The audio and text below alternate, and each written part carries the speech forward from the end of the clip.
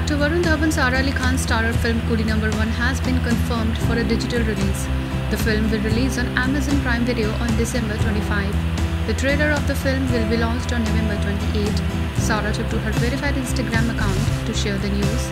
She wrote, entertainment की solid शुरुआत कुड़ी 1 वन से first मुलाकात The first first watch the live trailer premiere of Kudi number 1 on Prime, November 28, 12 pm on the Facebook and YouTube page of Amazon Prime Video. Coolie Number 1 is directed by David Dhawan.